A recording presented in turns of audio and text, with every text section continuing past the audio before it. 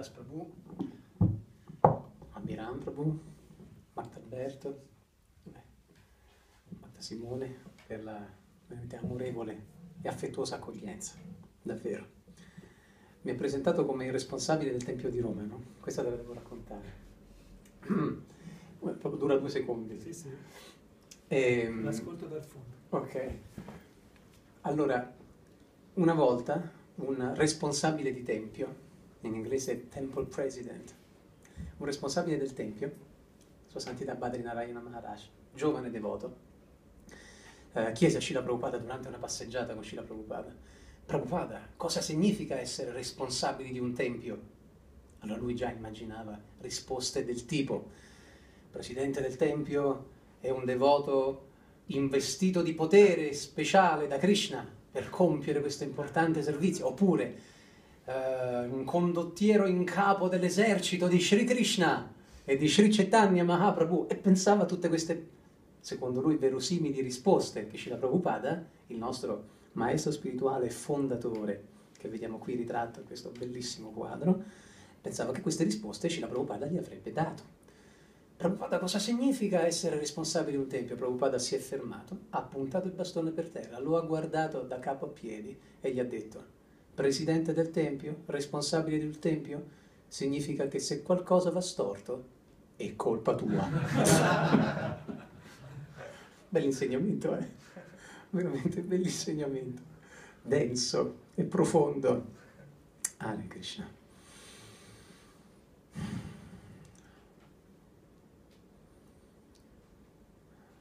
Il movimento per la coscienza di Krishna è un movimento spirituale. Si basa sugli insegnamenti di un testo chiamato, molti di voi lo conosceranno, anche chi viene per la prima Questo? Sì. Anche chi viene per la prima volta, Bhagavad Gita, così com'è, eh, lo conosceranno sicuramente anche le persone che sono venute, molto probabilmente, oggi per la prima volta lo conosceranno questo libro. Una certa, diciamo così, una certa controcultura atea, ovvero le culture di questo mondo materiale ostili a me, a te, a te, a ognuno di voi, ostili ovvero all'anima, Cosa hanno fatto di questo libro meraviglioso di cui adesso parliamo un po'? Cosa hanno fatto? L'hanno confinato, questo testo, lo hanno spedito in esilio nell'empireo dei testi sacri indiani antichi. Testi sacri, eh, quindi sacro, eh, io, eh, io sacro, io sono materiale, sacro, per me sacro è qualcosa di molto lontano, i santi, ma io non mica sono santo. Antichi, quindi hanno definito un testo antico, anche antico, quindi oggi non è più valido, giusto una cosa antica, oggi i tempi cambiano. Indiano, noi siamo occidentali e quindi una certa controcultura atea, materialistica, ha confinato, esiliato. Presente, avete presente quando qualcuno viene spedito al confino, no? esiliato, lontano, lontano, in modo che nessuno possa vederlo, sentirlo, se non da lontano, qualche notizia così sparuta.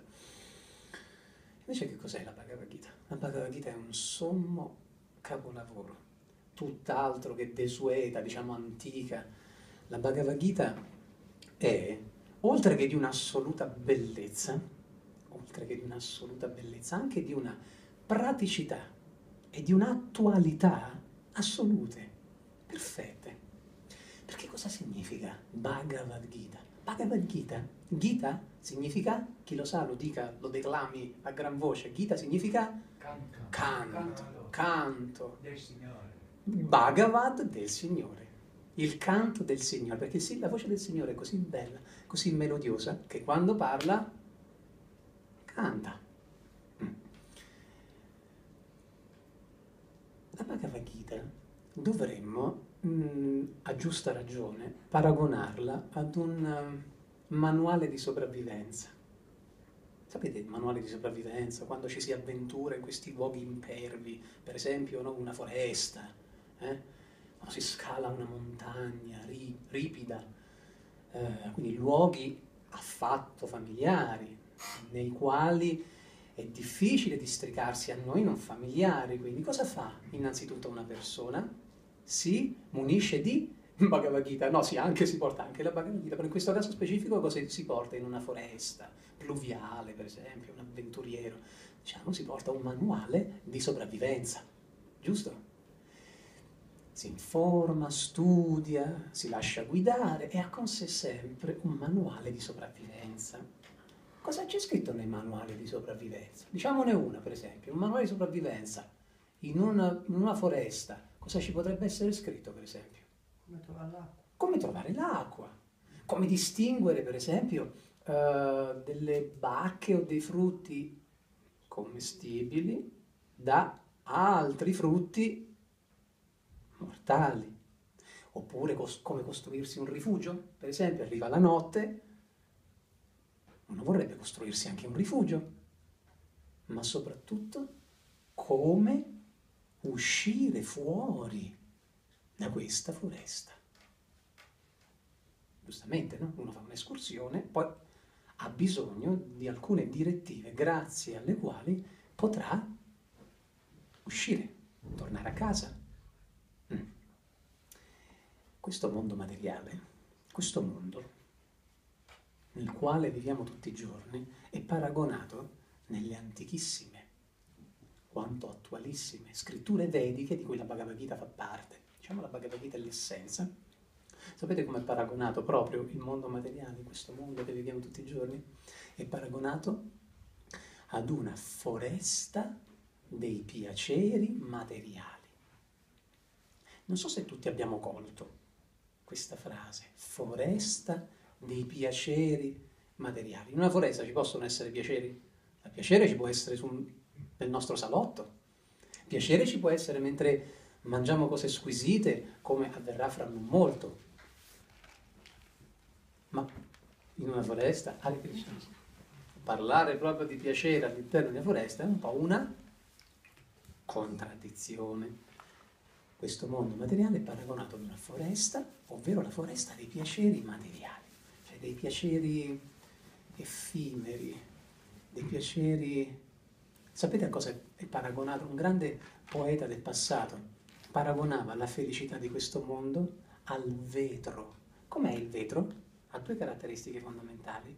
Il vetro è brillante, se ben pulito, giusto? Come questi vetri, ben pulito e brillante, ma contemporaneamente anche molto fragile. Vero? E fa molto, molto male se si rompe in nostra presenza. Mm. Quindi i piaceri in questo mondo materiale sono paragonabili al vetro, brillanti, attraenti, coinvolgenti, affascinanti. Sì, farò questa cosa, ne godrò, sarò felice. Ognuno ha la sua poi, eh? ognuno ha la sua meta. E poi però, quando anche si raggiungesse il nostro obiettivo, Innanzitutto non è mai, questo lo possiamo confessare apertamente, tanto siamo qui quanto siamo qui. Tra di noi, siamo in famiglia, possiamo ammetterlo che effettivamente quando raggiungiamo qualcosa che ci eravamo prefissi, prefissati di raggiungere, quando lo raggiungiamo è come avremmo voluto, è come ce lo immaginavamo? Soddisfa concretamente tutte le nostre aspettative? Sì o sì? No. No. No, no, sarebbe perché non c'è alternativa. No, assolutamente no. Altro, propo, altro spunto di riflessione. Riusciamo sempre a raggiungere ognuno dei nostri obiettivi? Ci riusciamo sempre sempre? No, eh? Diciamo, abbiamo il nostro bagaglio, il nostro fardello, a volte troppo pesante, di delusioni. E però ci sono anche delle cose belle. Però se le mettiamo proprio sul piatto, avete presente quelle bilance che si, usano, si trovano anche nel, nei, nei, nei, nei fruttivendoli all'aperto, dalle mie parti, a due piatti, no? A due piatti. Cos'è che pesa veramente di più? Siamo onesti. Sì, poi ci accontentiamo, siamo contenti quando raggiungiamo qualche obiettivo, qualche traguardo, però ecco, non è mai come avremmo voluto e comunque non tutti i traguardi sono da noi raggiunti. Quindi questo è il mondo in cui viviamo. La Bhagavad Gita ci aiuta a capire tutto questo, innesca buon senso. La Bhagavad Gita è un detonatore di lucidità. La Bhagavad Gita è un capolavoro assoluto che dà questa possibilità. È un documento inoppugnabile, la Bhagavad Gita. Concedetevelo, chi ancora non l'ha letta, chi ancora non l'ha... Concedetevelo, concedetevi di scoprire questo.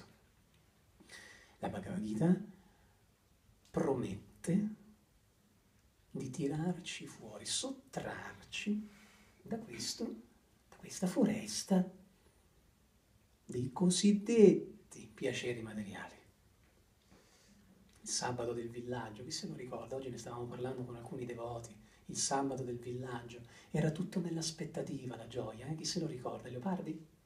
Leopardi? Era tutto nell'aspettativa, ah, arriva il sabato, arriva il sabato non si lavora, arriva il sabato, arriva la domenica e poi di nuovo la, la delusione. Un altro grande del passato diceva che il valore prospettato di una cosa, di una certa cosa, ripeto, ognuno ha i suoi traguardi, vero? Ognuno ha i suoi traguardi, non abbiamo tutti lo stesso traguardo, ma il valore che noi attribuiamo alla prospettiva di questo oggetto che vogliamo raggiungere, di questa persona, poi il mondo no, questo mondo di cose e persone che ci circonda propone tante promesse, giusto? Allora, questo grande saggio del passato diceva che il valore di una certa cosa è tutto nella prospettiva, cioè la, la, la, la prospettiva, ciò che noi ci, mm, come si dice, ci, l'aspettativa, grazie, scusate scusate, tutto nell'aspettativa. Il valore dell'aspettativa è infinitamente più grande del valore reale della cosa. Eh, questo grandi anche del passato, non necessariamente spiritualisti, avevano afferrato con le manine dell'intelligenza questo aspetto sinistro del mondo che ci circonda, sinistro. E noi maldestri, in questo mondo sinistro, continuiamo a rimanerci un po' male. Non è facile ammetterlo, ovviamente. Ci vuole una grande, grande... Ecco, il consiglio, il consiglio che noi diamo sempre, il consiglio che dà la Bhagavad Gita, qual è? Uno di tanti consigli, diciamo uno dei primi consigli. L'essenza della Bhagavad Gita è proviamo a prendere un attimino delle distanze, distanza di sicurezza, come quando guidiamo, no? io non le prendo mai, c'è mia moglie che quando guido io eh, ha i capelli dritti, però diciamo, dobbiamo, prendiamo quella, quella distanza di sicurezza da cosa? Quotidianamente, da cosa dobbiamo prendere? Da cosa dobbiamo fare un passo indietro di sicurezza per affrancarci un po' da queste boom, boom, questo sbattere costantemente il grugno, come dicono a Genova, no? uh, anche a Roma mi pare. Da cosa? Fare un piccolo passo indietro rispetto a tutti gli impegni che abbiamo quotidianamente, da tutte le distrazioni, poi piano piano si affina, abbiamo detto che è un detonatore di lucidità, giusto? Che innesca buon senso la Bhagavad Gita, poi piano piano uno riesce, riesce a comprendere cosa è veramente distraente, cosa invece è giusto ed edificante per noi ma prendere un po' le distanze da questo, prendere le distanze dalle cose che semplicemente dobbiamo fare, una piccola distanza per meditare, per meditare. Il consiglio della Bhagavad Gita è quello di meditare sui santi nomi di Krishna, santi nomi di Dio, nella formula facile, oramai anche chi è venuto oggi per la prima volta ha imparato, è il Maha Mantra Hare Krishna. Lo recitiamo insieme una volta, così vediamo se, eh, se lo ricordiamo. Hare Krishna, Hare Krishna, Krishna Krishna Hare Hare, Hare Rama, Hare Rama, Rama Rama, Hare Hare. Vi racconto una storia, vi piacciono le storie? Vi racconto una storia che illustra bene il Mahamantra Hare Krishna. Allora, c'era un re e c'era un mendicante. Un mendicante che era molto, molto contrariato, era molto arrabbiato con il re, diciamo era molto invidioso. Mm? E quindi era un suddito ribelle, e cosa faceva? Spargeva dicerie sul conto del re, diceva a tutti, poi era molto carismatico, eh? quindi sapete, no? una persona carismatica quando dice qualcosa molti gli credono, mm, è un carisma, no? Spargeva dicerie sul conto del re, diceva che lui non si cura, il re non si cura mai, dei bisogni dei suoi sudditi. Noi siamo qui a mendicare, non si, non si preoccupa per noi, non si occupa di noi, uh, è interessato soltanto ad accumulare le sue ricchezze, a vivere con la sua regina, con i suoi figli, nel suo palazzo. E spargeva queste dicerie. I segretari, diciamo, i servitori più vicini al re, Ehm, giunsero queste informazioni, queste notizie, questo vociferare, giunse alle orecchie delle persone più vicine, dei consiglieri del re. E cosa consigliarono al re? Di ucciderlo, di uccidere questo mendicante, perché loro erano convinti che questo mendicante ribelle, molto carismatico, avrebbe organizzato una rivoluzione. Sire, uccidetelo, il re, no, non lo farò.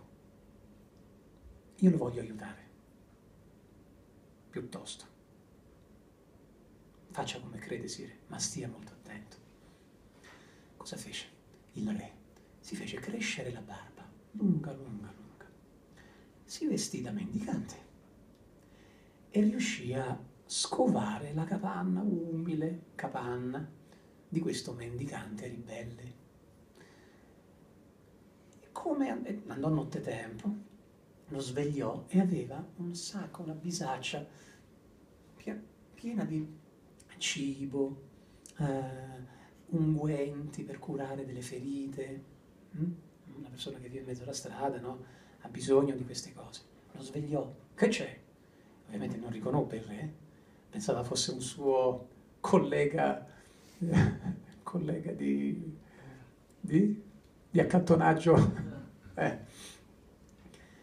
ti ho portato del, del buon cibo e ti ho portato delle medicine. Ah, grazie. Aveva molta fame, potete immaginare. Allora subito divorò letteralmente questo cibo e utilizzò gli unguenti medicamentosi per appunto curarsi le ferite. E così ogni sera, per tanti, tanti giorni, divennero ovviamente amici. Eh? conveniva a questo mendicante di venire amico di questo benefattore. Una volta diventati amici, stretta un'amicizia e quindi fiducioso, diciamo, ehm, certo della fiducia conquistata, disse al, il re sotto le mentite spoglie del mendicante, disse al mendicante, dobbiamo andare nottetempo nel, nella stanza del tesoro del re, rubare quante più ricchezze possibile e organizzare una rivoluzione, grazie a questo denaro, grazie a queste ricchezze, organizzare una rivoluzione. Questo glielo diceva il re, eh? il re sotto le mentite spoglie del mendicante. E il mendicante ci ha pensato un attimino, sì certo, così, andiamo, non c'è tempo, io e te andiamo, nel... secondo te non ci scopriranno, ci taglieranno la testa, vola basso, attenzione, non esageriamo. No, io conosco un passaggio segreto, certo era il re, lo conosceva bene il suo palazzo, era d'accordo ovviamente con tutte le sue guardie, conosco un passaggio segreto. gliene ha ancora parlato un po', lo convince, alla fine lo convince, dice, va bene, andiamo, mai convinto, andiamo. E rivoluzione sia. Notte tempo, passaggio segreto. Passarono, attraversarono il giardino del re. A un certo punto il re, travestito da mendicante, si rivolge al mendicante, dice, qui il re ogni giorno organizza eh, una distribuzione gratuita di prasadam. Chi non sa cos'è il prasadam? Chi non sa? Il prasadam è cibo consacrato, cibo vegetariano offerto a Dio con amore e devozione o con, comunque con un sincero tentativo di amore e devozione nei confronti di Dio, la persona suprema, di Shri Krishna e del maestro spirituale, puro rappresentante di Krishna. Quindi un'offerta di cibo, un'umile offerta di cibo a, uh, al maestro spirituale e a Shri Krishna. Il re, tornando alla storia, beh, umile non tanto, che ci sarà una festa di quelle proprio luculliane questa sera, come tutte le domeniche, peraltro. Uh, uh, il re organizza tutte le sere, tutti i giorni, distribuzione gratuita di cibo, prasadam, a tutti i poveri chi vuole venire può mangiare fino a piena soddisfazione. Ah, pensava questo mendicante. Ah, e piano piano il suo cuore, diciamo, gli iceberg del suo cuore iniziarono a sciogliersi. Il cuore freddo di una persona invidiosa, eh? Di una persona collerica, una persona avida e freddo, gelido, un iceberg. Iniziarono a sciogliersi questi ghiacciai pressoché eterni di invidia e livore e odio nei confronti del re.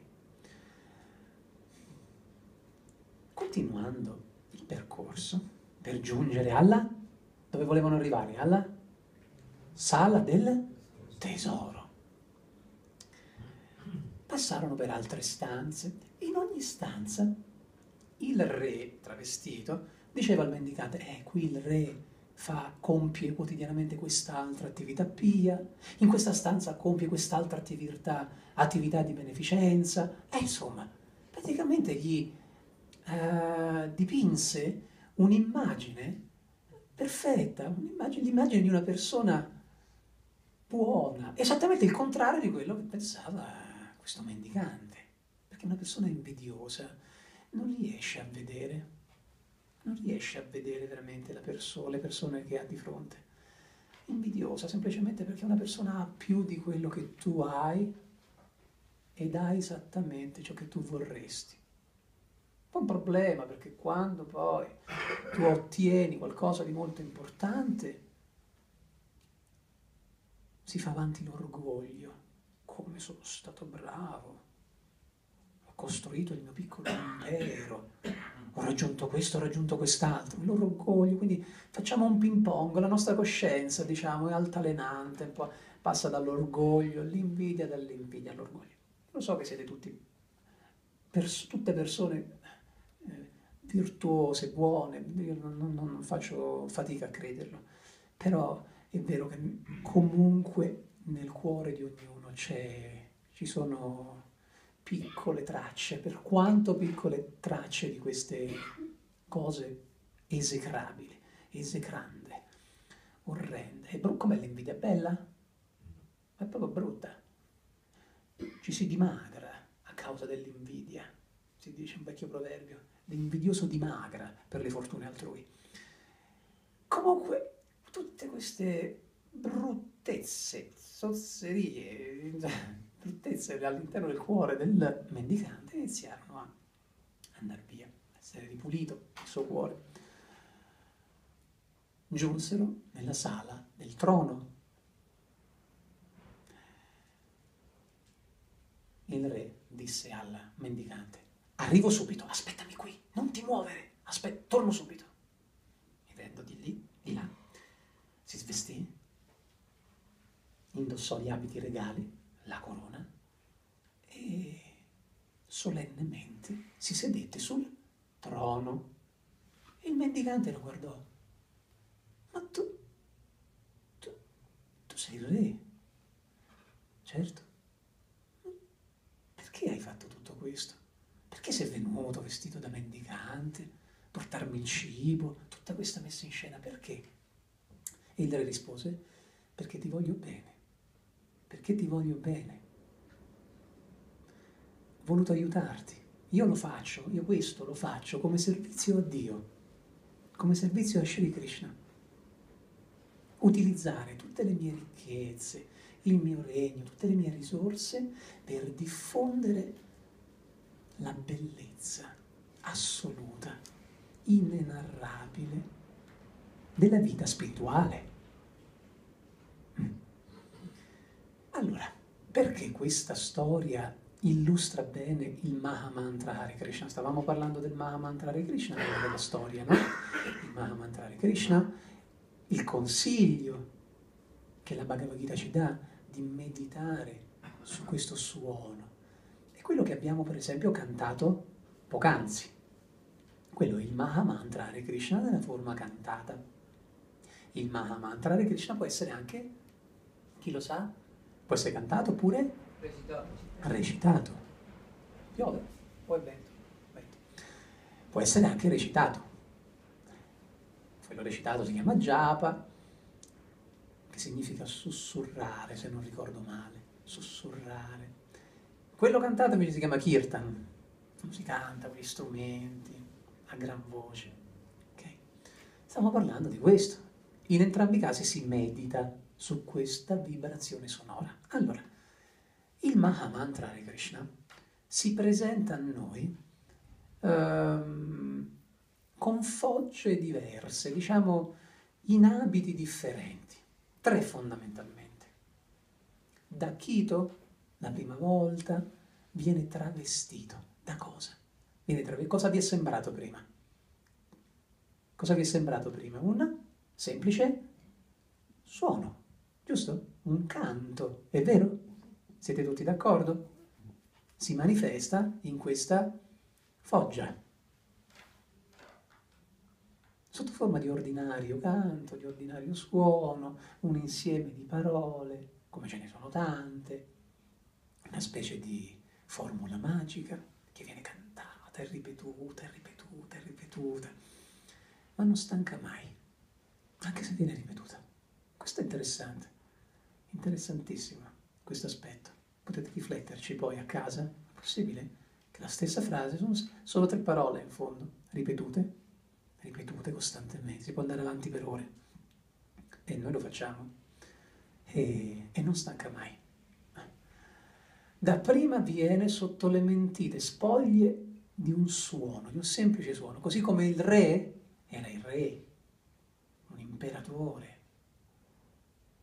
monarca, non era un mendicante, però viene sotto le mentite spoglie di un mendicante cioè di una cosa semplice, una persona semplice, umile, e così il suono. Quanti suoni? Il suono del vento, il suono della radio, il suono di, di quel cantante piuttosto che di quello strumento, piuttosto che del vicino o piuttosto che del cane del vicino durante la notte.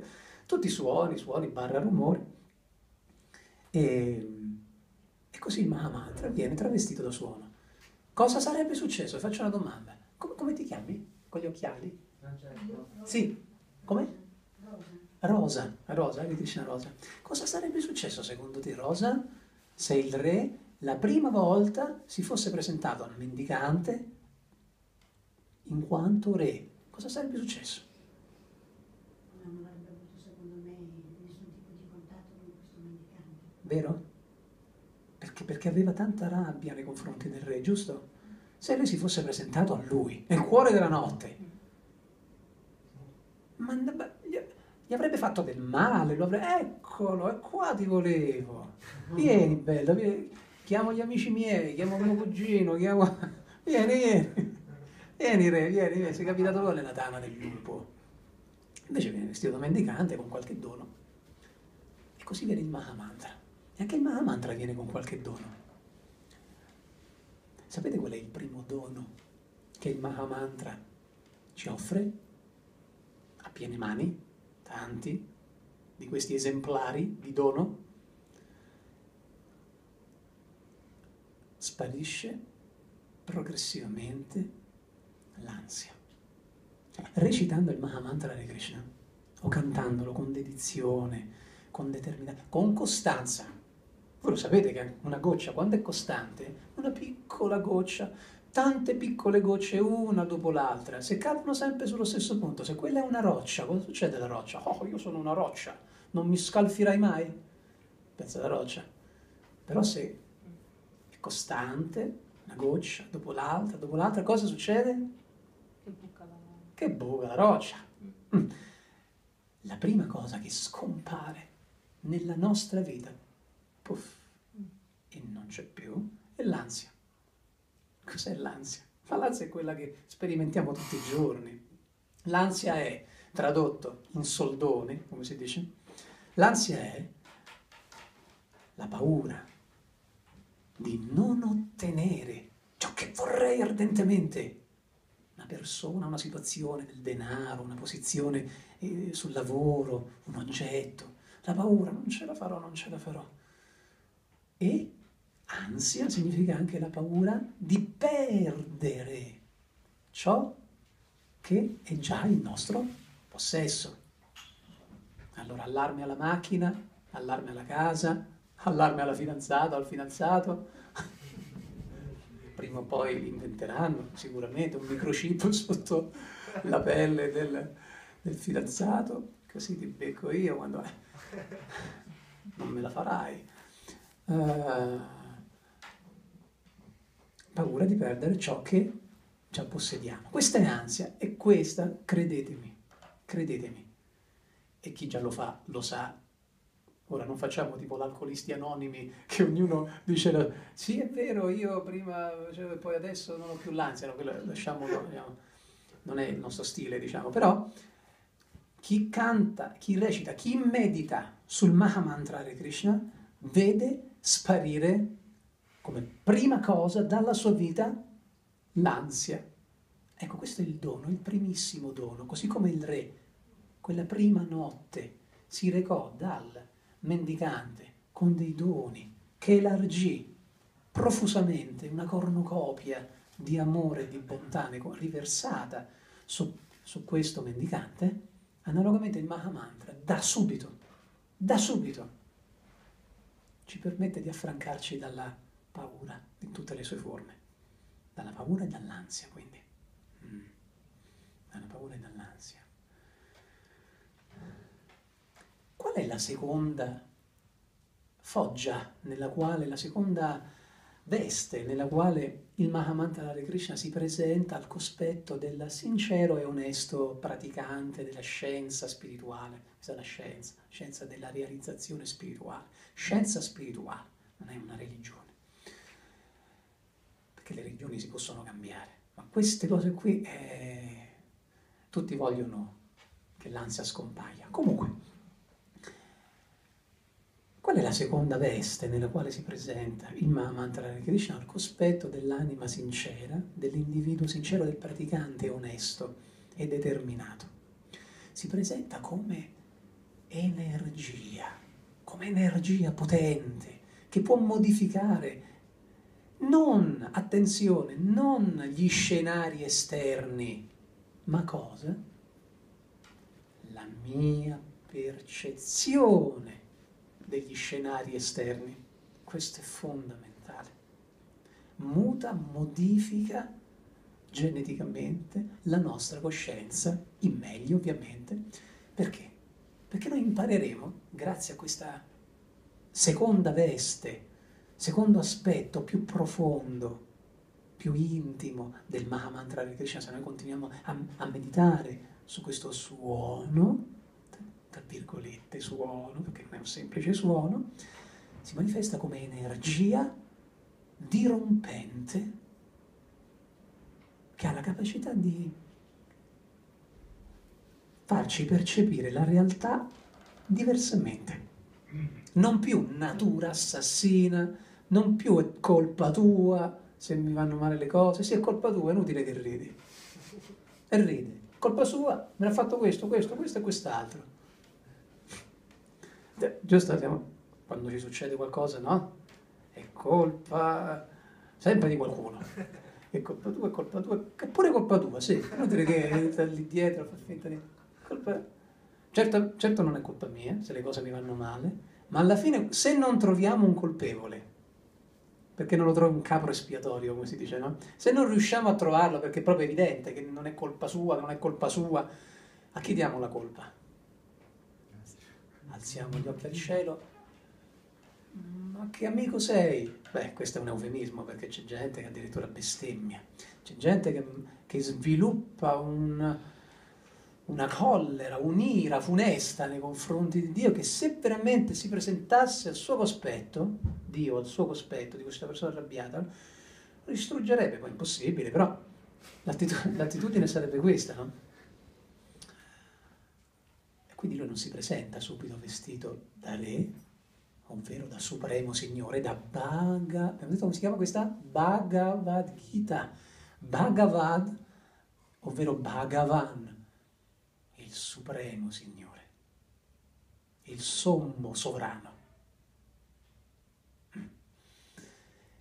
Come secondo aspetto, questo dell'energia, abbiamo detto, no? Che modifica la nostra percezione del, del mondo esterno e anziché annegare nelle acque della collera quando le cose vanno male, contro i rovesci di fortuna, giusto? La collera. O annegare nella colpa, ah, è colpa mia, ah, a volte c'è questo, no? il senso di colpa, no? Feroce, rampante, furioso, no? uno, uno, pensa di essere il colpevole, no? ecco, si passa da una sfera alla sfera opposta, no? gli antipodi. Allora, anziché annegare in queste acque, il Mahamantra, Hare Krishna, ci bagna con la grazia della consapevolezza, della lucidità. E l'abbiamo detto, innesca il buonsenso. Buonsenso è buonsenso. Buonsenso significa che riesci a discriminare.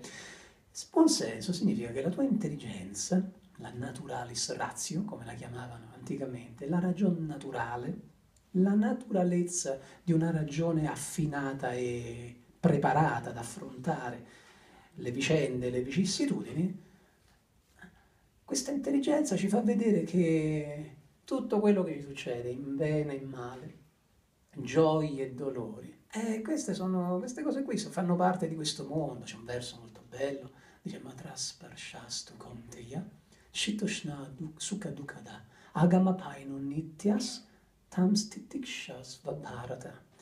La persona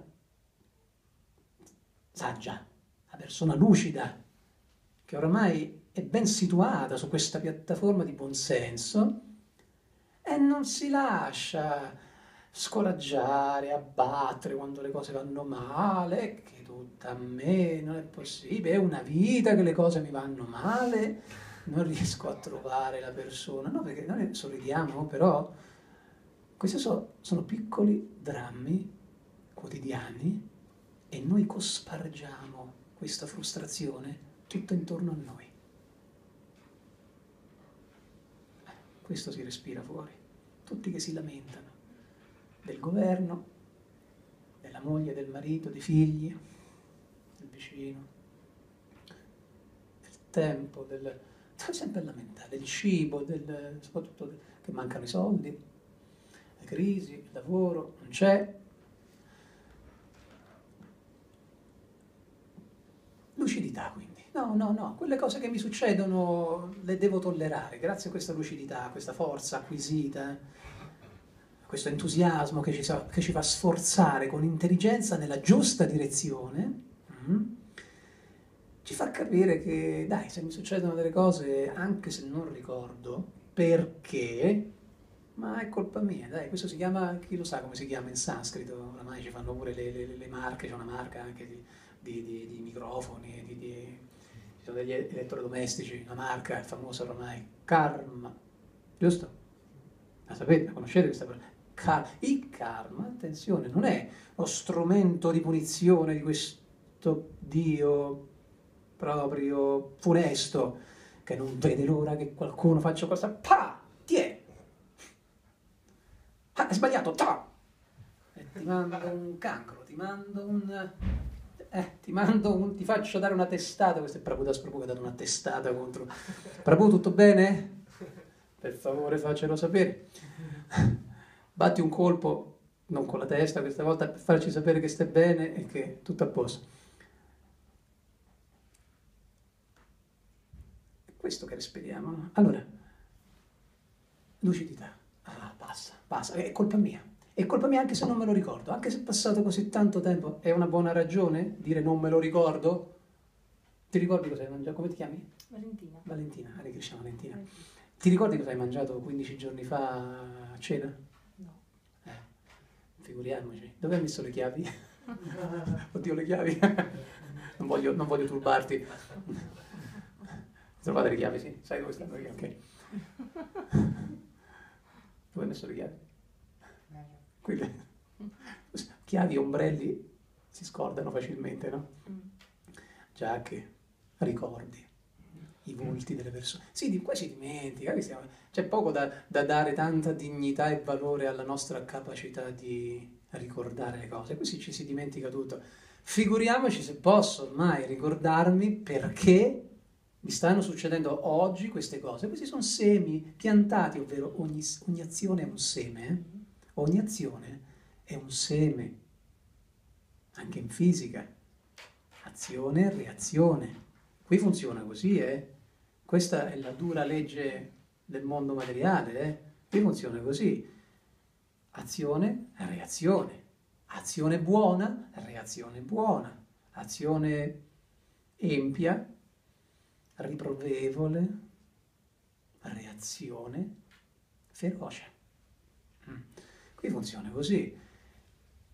E come faccio a ricordarmi? Ma chi si ricorda perché oggi, beh, per- co- cosa ho fatto per meritarmi oggi questa malattia? Io ho l'asma, per esempio, no? Io ho l'asma, soffro di asma e gentilmente, ge- gentilmente Vincenzi, no scherzo, no scherzo, è per, farlo, per farlo sentire in colpa, ma lui non, non si sente in colpa perché sa che va tutto bene, che Krishna controlla tutto, e lui è soltanto... Chi si ricorda perché? Che ne so, perché io facevo la...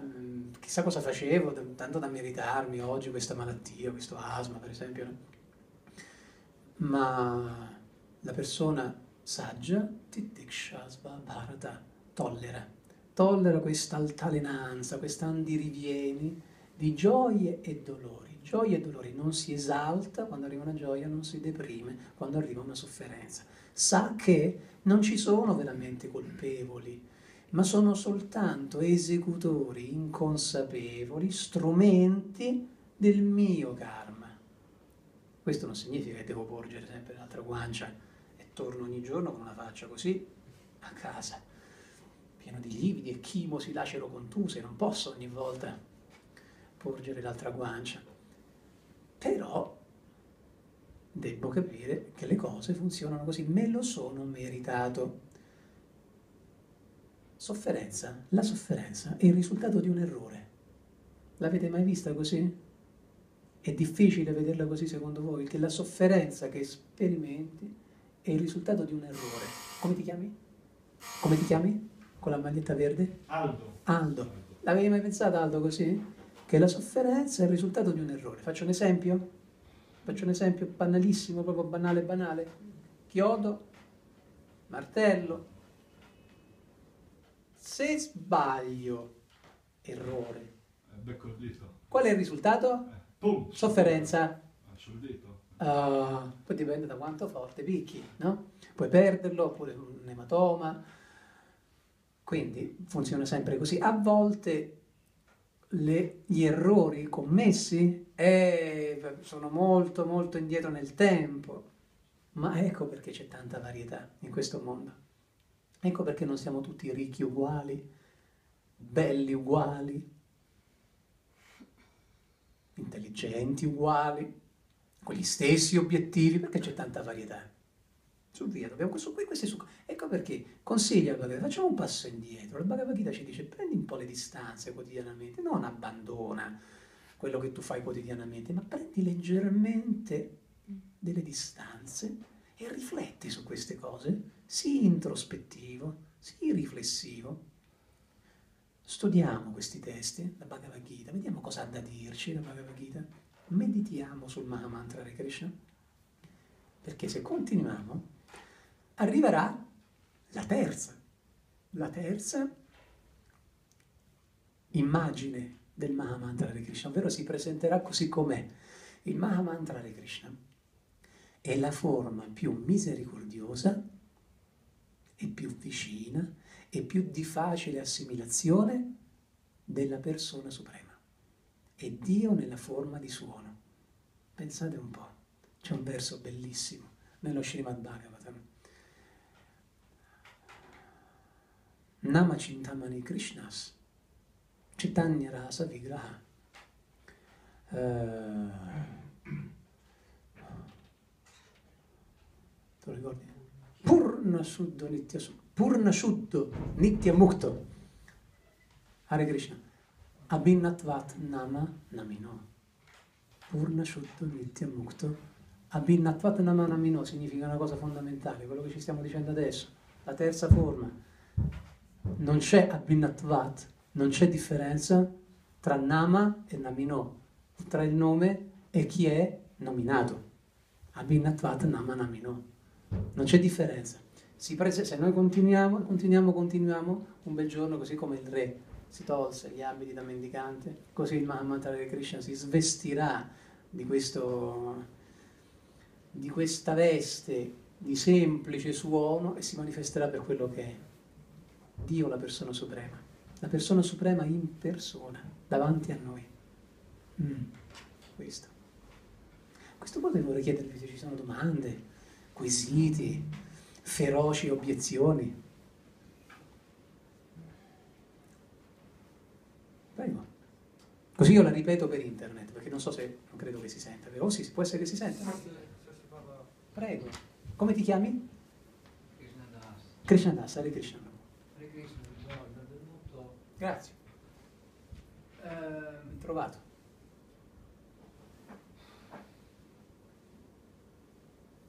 Oggi eh,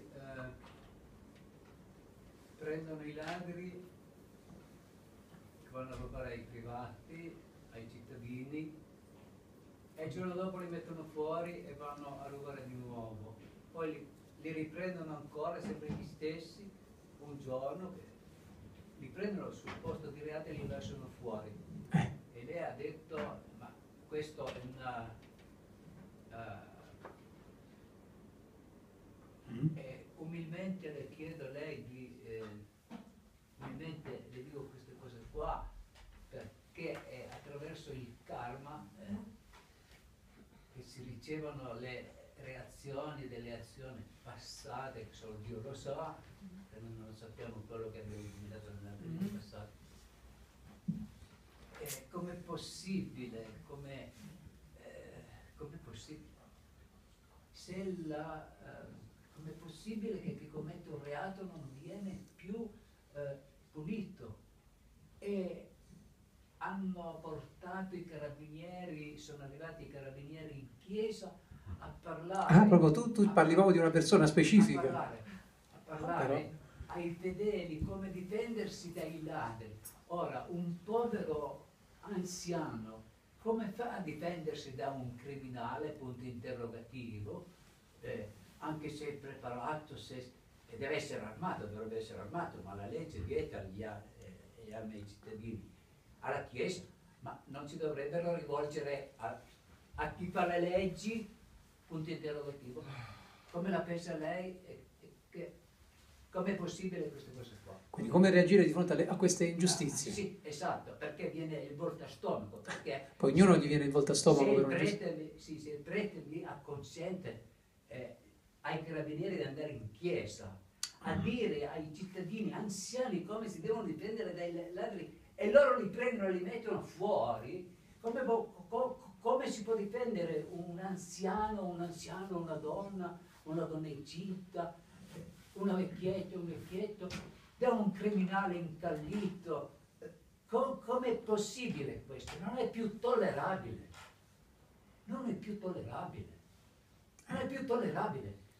Okay. Aveva il dovere di dire al, al, allo Stato. Questa è la domanda? Ma scusa, ma eh, a me È il fervore Lascia che, che, Che ancora sfoghi tutta la-. Prego, Krishna Das. sì, doveva Che nome, eh? Servitore di Krishna. Ah, Eh, Doveva rivolgersi al capo di Stato, al governo, dire come vi permettete voi a rimproverarli? giusto. Ma che governo Va siete? Va bene, va bene. E non lo fanno. E allora? allora? E allora?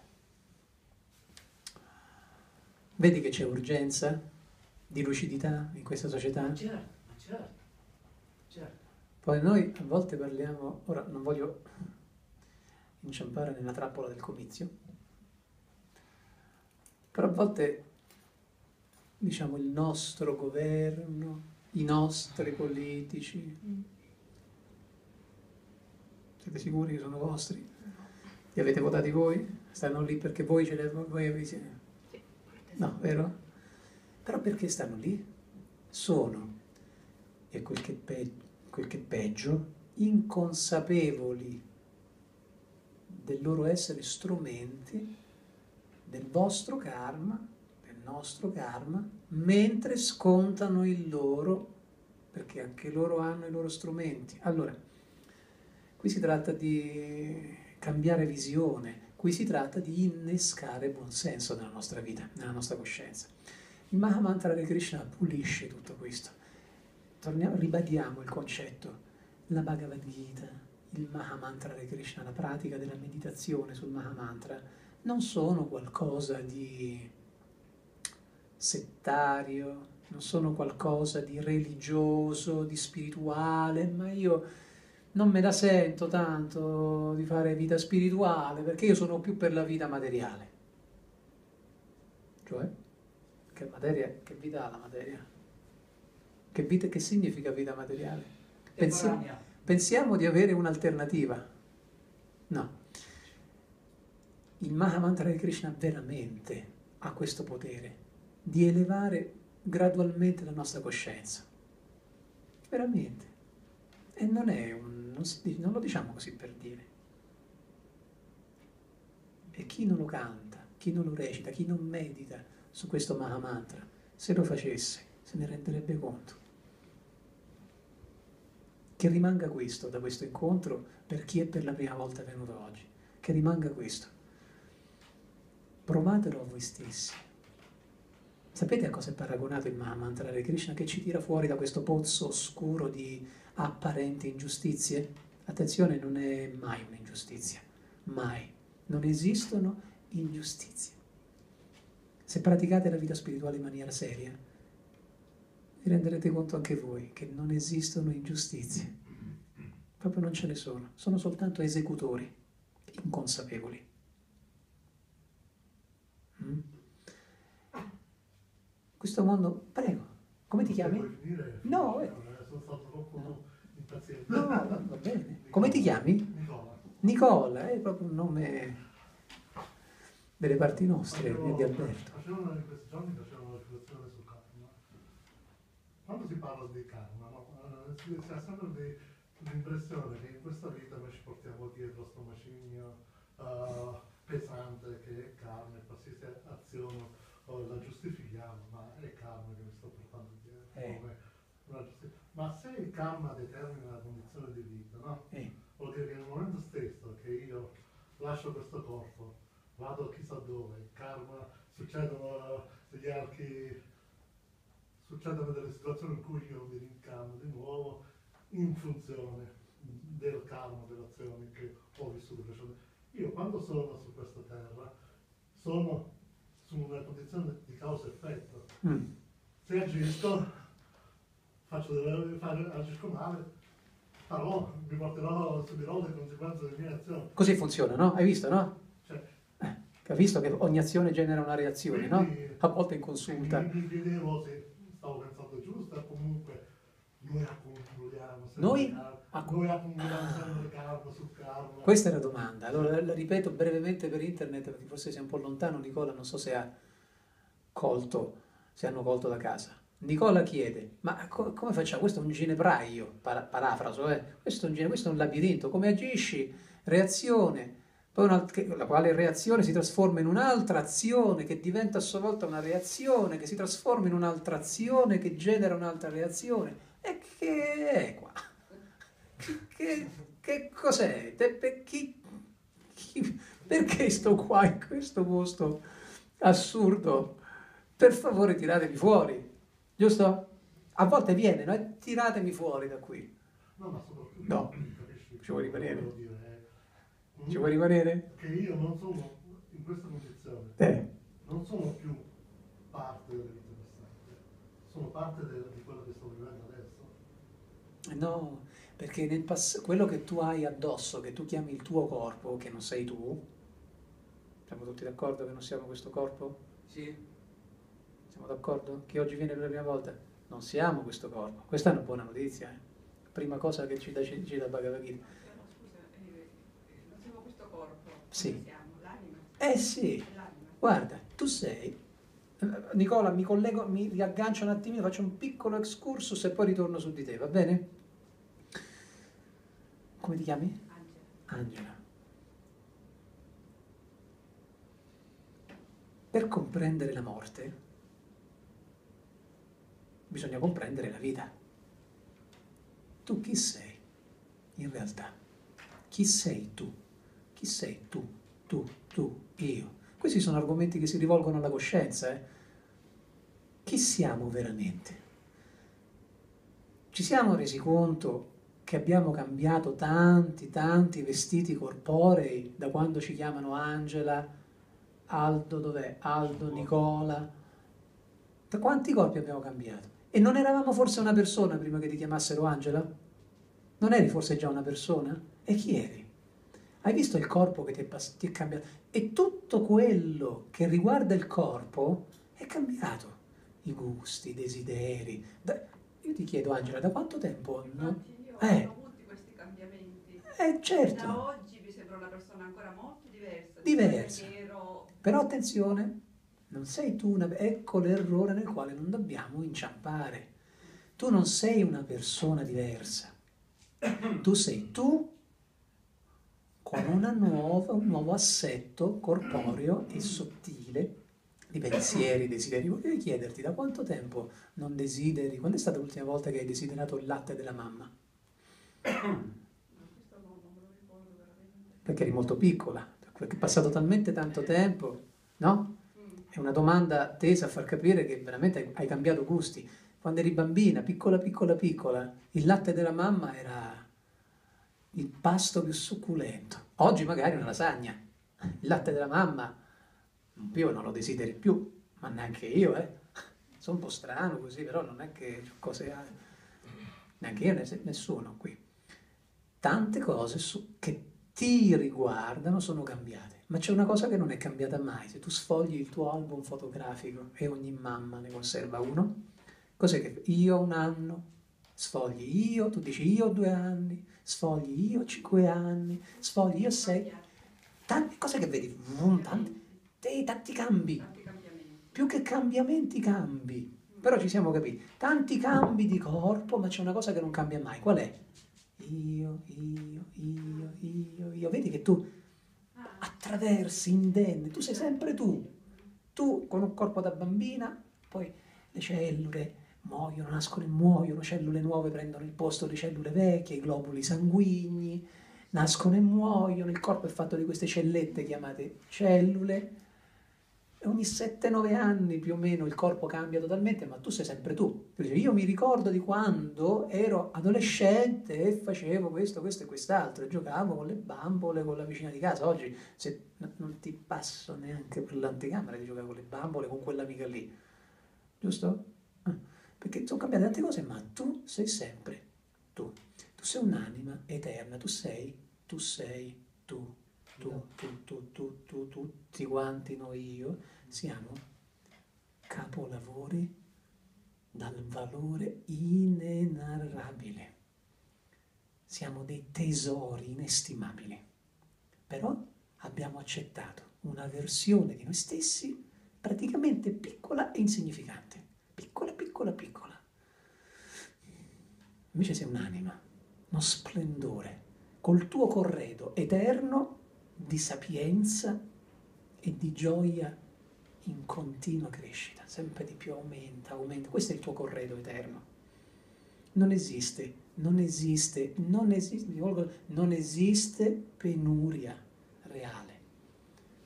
Se sperimentiamo una qualche mancanza a livello economico, a livello per esempio di sentimenti, abbiamo un vuoto, vogliamo amare e abbiamo questo vuoto. Se sperimentiamo una qualunque forma di vuoto, una qualunque forma di mancanza, una qualunque forma di incompletezza, è bene che noi quanti, tutti quanti si sappia che questo vuoto che noi proviamo, che questa incompletezza che noi sperimentiamo, altro non è che il risultato di una incompleta conoscenza di come stanno realmente le cose. E allora accettiamo una versione di noi stessi piccola e insignificante. E la Bhagavad Gita ci salva con la Jnana Dipa. Jnana Dipa.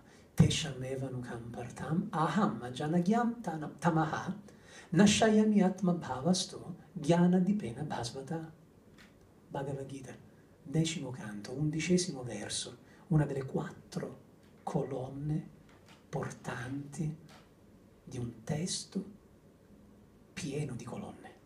Un verso fondamentale ci dice, Krishna dice, con una dimostrazione d'affetto di cui anche se spendessimo milioni di parole mm, non potremmo mai eh, veramente descriverla, questa bontà, questo amore nei nostri confronti. Ci dice io sono con te nel tuo cuore, tu, nel tuo, nel mio, io sono nel tuo cuore e dissipo le tenebre della inconsapevolezza, le tenebre dell'ignoranza, grazie alla torcia luminosa della conoscenza. A questo punto, detto questo, che siamo anime dal valore proprio incalcolabile. Possi- scusa, possibile mai? Quanto può costare un Van Gogh secondo voi? Miliardi? Quanti, quanto? Possibile, non faccio domande dirette che non voglio turbare nessuno, possibile mai che un uomo, un essere umano debba valere 800 euro al mese? E un quadro miliardi di dollari? Perché accettiamo? Perché non impariamo, perché non impariamo ad amare l'idea che siamo dei tesori formidabili? Perché continuiamo quotidianamente ad accettare una versione così assurda di noi stessi? Perché ci disattiviamo? Perché ci lascia, lasciamo che il mondo materiale disattivi la nostra consapevolezza? Allora, la Bhagavad Gita ci viene incontro. Per venire a Nicola, va bene Angela? Vado avanti, poi chiaro, queste cose non ci si può aspettare di esaurire tutta la Bhagavad Gita o gli argomenti spirituali in un incontro, ma sono spunti di riflessione. Infatti io sono soddisfatta così perché eh. il cambiamento si è avvicinato a, a questa spiritualità. Coscienza di Krishna. Da sempre, un tuo corredo eterno, Angela. La penso così io, perché sì. io sempre penso che eh. avere tante cose, poi si muore, cosa mm. serve? Oh. Cioè, non lo so, io mi ho sempre domandato. Possono dare un po' di soddisfazione. Anche altre cose, non solo i soldi, anche altre cose. Eh, il prestigio. Di, di, di, altre persone. Sì, sì, sì. Non hanno, secondo me non ci hanno. Effimeri.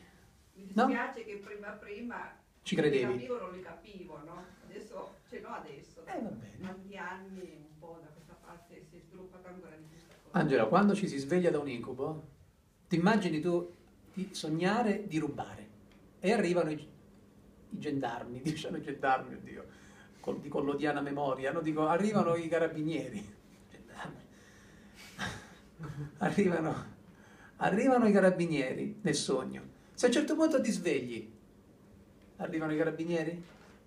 Quello che hai fatto hai fatto nel sogno. Se ti sei svegliato, ci manca solo che arrivano i carabinieri perché ho sognato che ho rubato. Eh dai, su, e che assurda situazione paradoss- paradossale. paradossale. Questo per indicare cosa? Ti sei svegliata? Basta, quello che hai fatto hai fatto nel sogno. Vita materiale significa incubo. E non è un sogno. C'era una canzone che diceva, e non svegliatemi, se sarò prigioniero di un sogno, vabbè. reminiscenze dalla giungla. Questo non è neanche un, fosse un sogno, ma comunque un sogno è bello, un so, cioè un sogno è un sogno, cioè per quanto bello possa essere, ma questo non è neanche un sogno, questo è un incubo, eh, come sei pessimista. Ah no, scusa, qualora qualcuno venisse qui, cioè sei proprio pessimista. No, innanzitutto il pessimista, sapete, il pessimista è un ottimista ben informato. Mm. Qui si muore, qui muoiono tutti, qui mortalità 100%, e c'è poco da fare qui muoiono tutti, questo è un incubo. Tu, se tu sogni un sogno che muoiono tutti, prima uno, poi l'altro, poi tocca pure a te, come lo chiami questo? Ti svegli, santa pace di Dios. Per fortuna mi sono svegliato. E così, se tu ti svegli alla coscienza di Krishna, se tu lasci che la Bhagavad Gita esploda, imploda dentro di te, generando lucidità e ragione naturale, ti svegli, ti svegli a quello che hai fatto, hai fatto, tornando a Nicola Nicola, nel momento in cui tu ti svegli, è finito. Che, qualunque cosa tu abbia fatto, anche l'azione più riprovevole, sai riprovevole, l'azione più infame, è, è un incubo. È un incubo, questo è un, un incubo materiale, dove tutti sono strumenti dell'altro, del karma. Io sono strumento del tuo karma, tu sei strumento del mio karma, e tutti quanti così andiamo avanti, ci incrociamo, no? questa trama ordita. Non so Nicola se... Quindi, quindi, per smettere di creare e generare reazioni, buone o brutte che siano, dobbiamo fare solo una cosa. Smettere di agire, puntini, puntini, puntini, materialmente. Non smettere di agire, fermo, fatalista, fatalista, no? Io sto fermo, succeda quello che succeda, no? Anche se respiri, e quanti esseri viventi ha ucciso, respirando. Mi do una bella grattatina, io ho fatto una strage qui. Questa come si chiama? Falangina, falangetta, come si chiama questa qui? Falangetta. Falangetta, ci sono 7 miliardi di esserini viventi qui. Una cosa impressionante, 7 miliardi. Li hanno contati, non lo so. Vabbè, c'è qualcuno che li conta. Vabbè. Comunque li hanno contati. Questo, cioè 7 miliardi soltanto qui sopra. Eh, qui come mi, come mi muovo è un disastro. Allora, l'unico modo è smettere di agire materialmente, ma agire spiritualmente. Che vuol dire? Agire materialmente, e questo poi concludiamo perché siamo già nell'orario, immagino, sono le 7. Da Monarasta come devo fare. Eh, la prima volta che succede che guardo l'orologio in tempo. Eh. Ehm, stavo dicendo?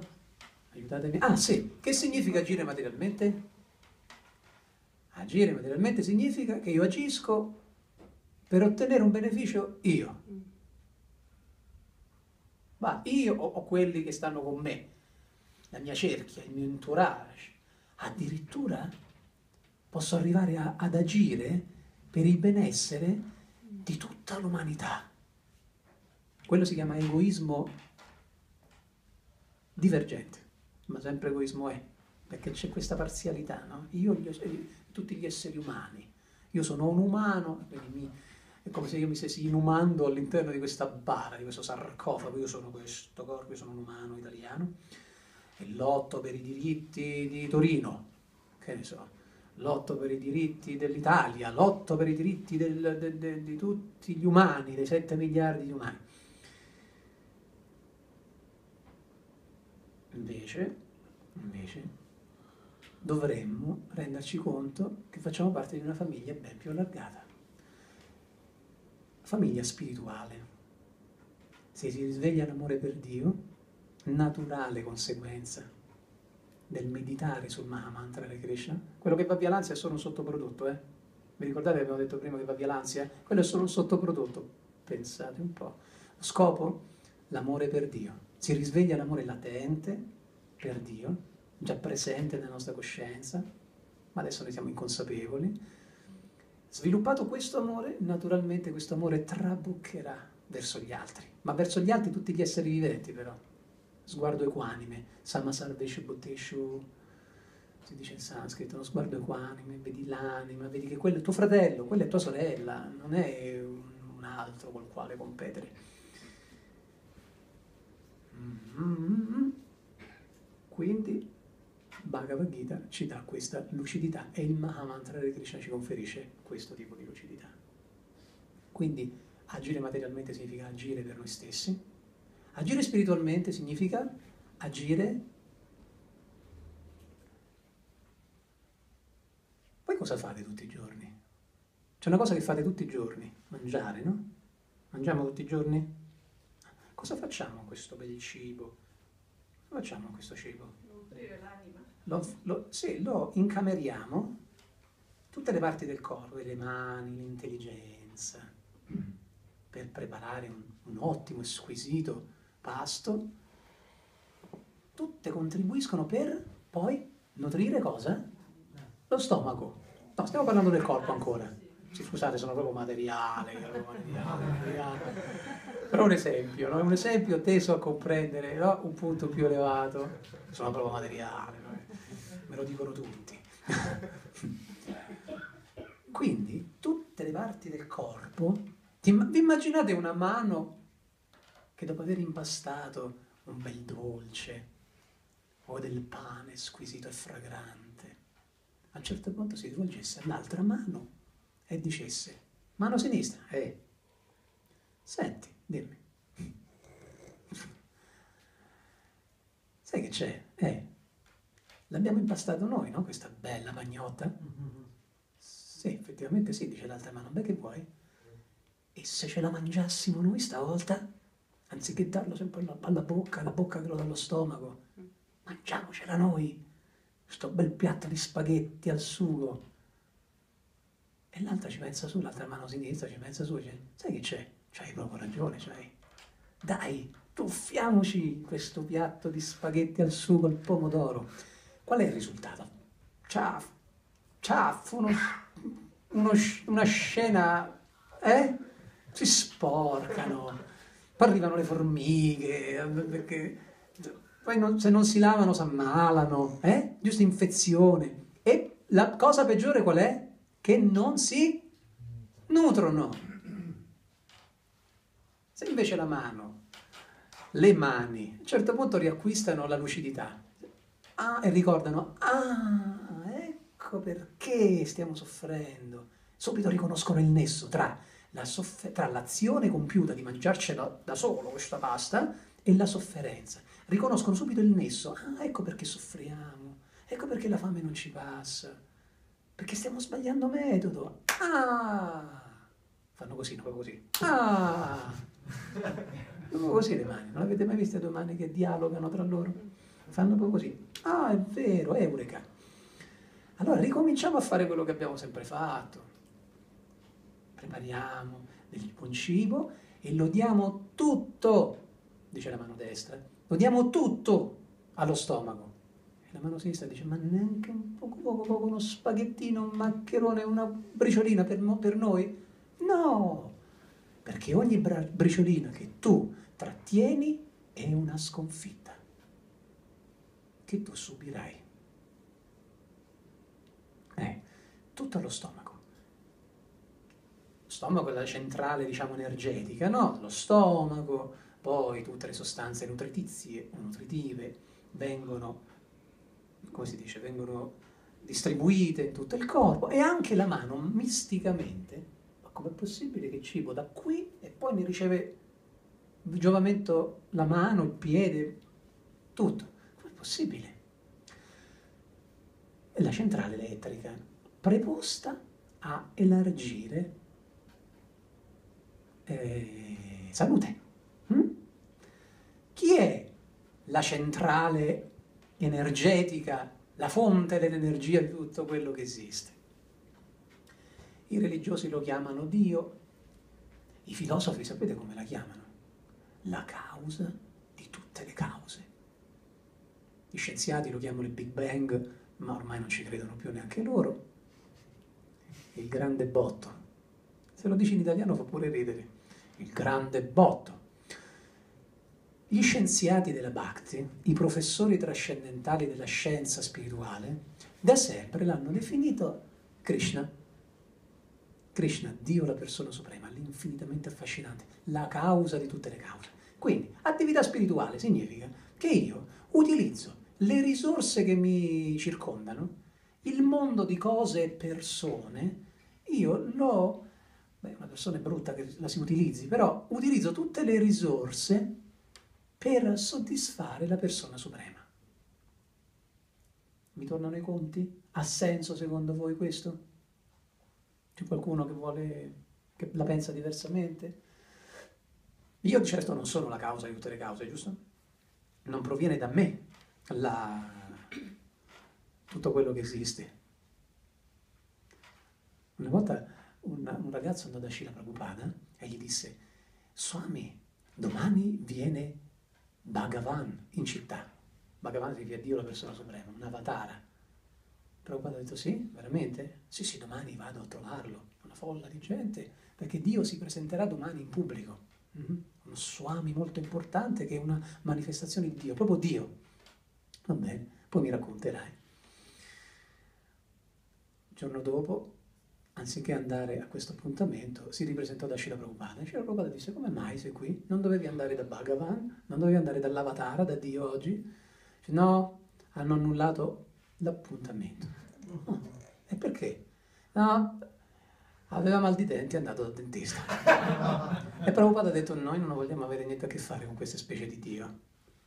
Oppure alcuni dicono, medita e diventerai Dio. Sì, ho capito, ma mentre mediti, chi è che mantiene tutta la baracca qui? Mentre tu cerchi di diventare Dio, chi, chi, chi manda avanti le galassie, ogni singola foglia che non si muove foglia se Dio non, che Dio non voglia? Quindi non sono io la causa di tutte le cause, non sono io il motore per affatto immobile eh, dell'esistenza di tutto quello che esiste. Non sono io. Quindi qualcuno deve essere. Quel qualcuno, lasciamoci, concediamoci il tempo, con pazienza e determinazione, eh, per scoprirlo. Attraverso la Bhagavad Gita e attraverso la meditazione del Mahamantra. Hare Krishna. Bene. Poi se ci sono altri quesiti, adesso la, da un po' eh, siamo nella fase della parabola discendente dell'attenzione, quindi è giusto che adesso si vada avanti col programma che è cantare Damodarastakam e off- si offrono le candeline e si offrono le candeline